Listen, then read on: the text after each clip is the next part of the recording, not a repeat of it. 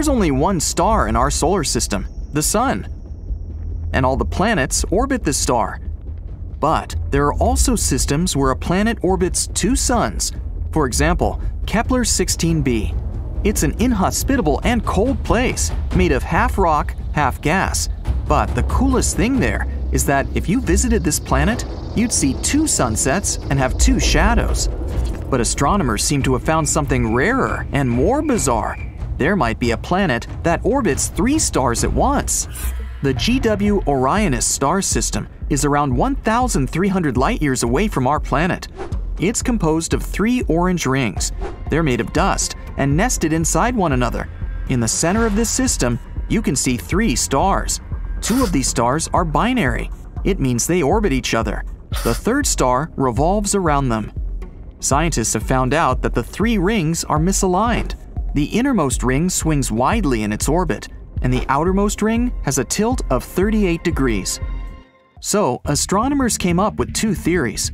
The first theory says the break in these rings occurred because three suns created torque at the center of the entire system. Torque is a gravitational force that always acts toward the center. But sometime later, this theory was written off. There wasn't enough turbulence in these rings for this theory to work.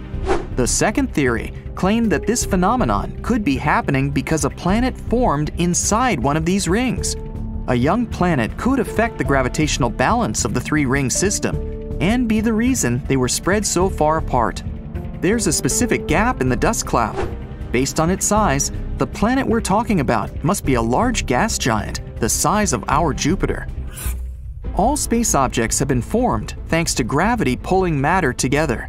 If there's even the slightest rotation at the beginning, the spin rate increases with time, especially when an object starts collapsing. That's why all space objects rotate, including dust particles and even black holes. Black holes lose their mass because of a thing called Hawking radiation. Their event horizons are becoming smaller, but this process is very, very slow. A black hole's event horizon is a point of no return. It's like a boundary that surrounds a black hole, and nothing, including light and radiation, can escape once it crosses this boundary.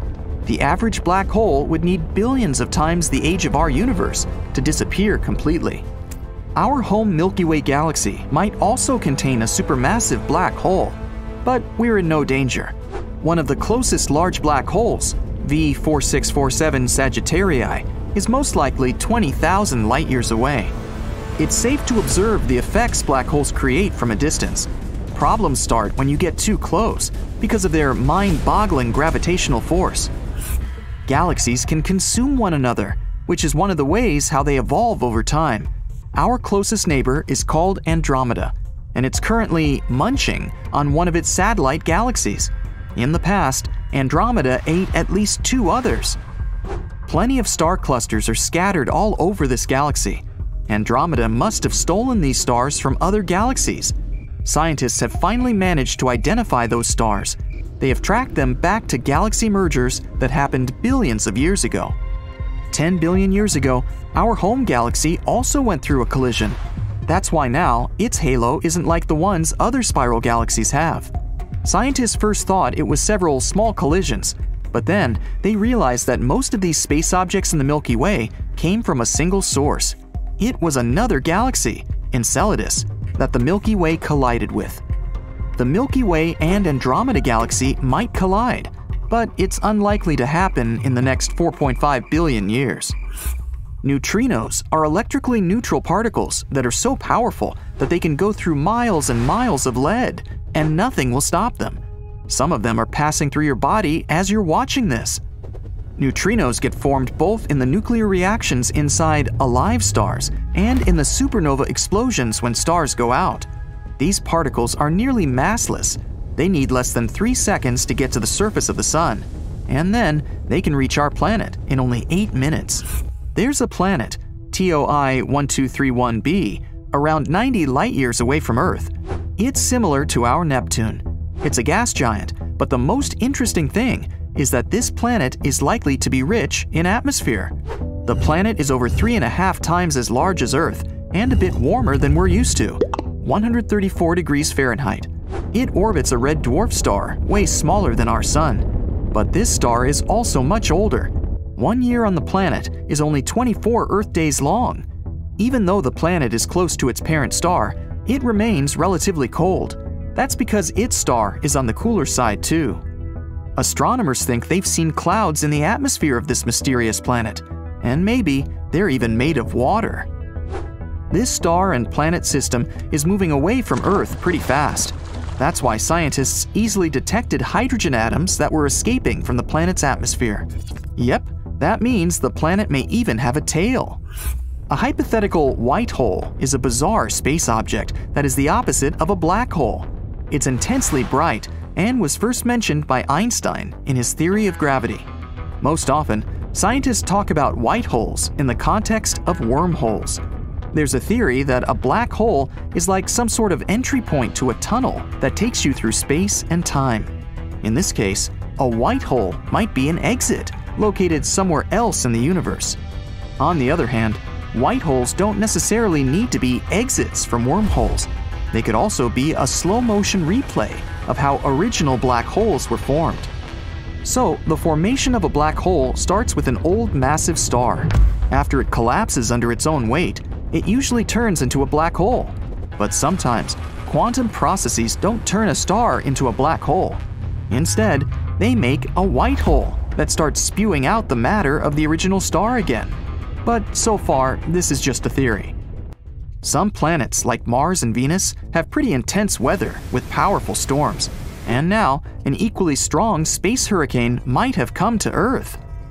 It was a swirling mass of air about 620 miles wide.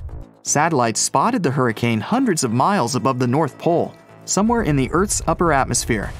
The hurricane was raining not water, but electrons. It lasted almost eight hours before it finally broke down it was spinning in a counterclockwise direction. It's possible there are oceans hidden under the surface of the moons surrounding Uranus. Scientists have also been investigating the oceans on Jupiter's moon Europa and Saturn's moon Enceladus. These oceans are hidden below the moon's icy crusts. Uranus has 27 moons. Five of them are especially big. Those are Umbriel, Titania, Oberon, Miranda, and Ariel. Back in the 1980s, when people sent Voyager 2 to get us some images of these five moons, scientists found out that they had lots of craters and were made up of ice and rock.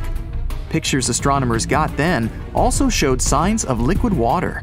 It was erupting from the moon's depths and freezing on the surface. One of the most plausible explanations was the oceans under the surface.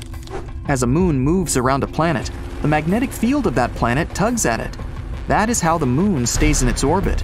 This tug generates an electrical current that transforms into a magnetic field. Such a magnetic field is called induced, and subsurface oceans might be the reason why this induced field can be produced. Saturn is well known for its famous rings, but Neptune, Uranus, and Jupiter also have rings. At the same time, Saturn has something really special we've never seen on any other planet. It's this huge hexagon storm moving around the planet's north pole. Each of its sides is almost 7,500 miles long. That's an area so great, we could place almost four Earths inside. According to thermal images, this hexagonal cloud pattern goes down into Saturn's atmosphere for around 60 miles. The planet is hiding behind thick clouds, and sunlight can't get through them. That's why astronomers can't see what exactly is going on there. But there are theories. Saturn is a gas giant. When gas deep inside the planet gets heated, it strays further out. Huge amounts of energy are released along with that gas, which makes it rise, expand, and lose density. The same processes cause hurricanes and tornadoes on our planet. On Saturn, whirling gases come out of a high pressure zone located within Saturn's outer layers, and these gases trigger a powerful storm of such an unusual shape.